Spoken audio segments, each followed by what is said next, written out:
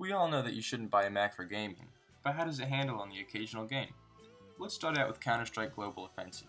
While running the game on medium settings at 2880 by 1800 resolution and a 16 by 10 aspect ratio, my average FPS was in the mid 60s while roaming the map. Once I started to get into gunfights, it dropped to the mid 40s and as low as 35, but it was definitely playable though. Next, I moved the aspect ratio to 4x3, which lowered the resolution to 1024 by 768, and this gave me an average FPS of 100, and the FPS went as high as 130 and as low as 70 when I was getting into gunfights. For me, I would take the lower FPS for a wider field of view because we were already playing on a really small screen. Moving on to Cities Skylines, it is certainly playable at 1440 by 900 resolution on low settings, and you're getting a smooth frame rate. There are occasions where it can stutter a bit, but it's so rare it's not even a problem. Trying to play at 2880 by 1800 though is a no-go, unless you want to be bald by the end of the night from pulling out all your hair. While it is playable at this resolution, there is little visual difference and in my opinion it is not worth it to play on low and choppy frame rate like this.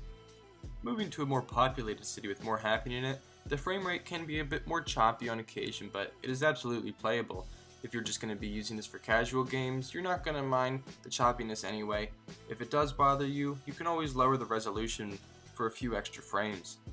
Hey guys, and I'm here with my Minecraft Let's Play channel, and today we're gonna try to get some diamonds so we can get some obsidian, so we can go to the nether and we can get some blaze rods. That's what we're gonna be doing here on episode 352 of my Minecraft Let's Play channel.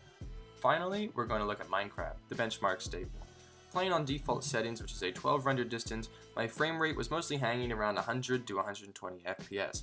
I was in one area so the chunks didn't have to be loaded, but the FPS went as low as 80 and as high as 150.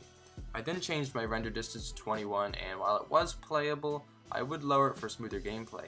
The frames were hanging around 40 to 60 FPS and while it was mostly smooth, there was a little bit of choppiness, so I moved from 21 down to 16 chunks and I think this is the sweet spot. We were getting a solid 70 FPS with no frame stuttering at all.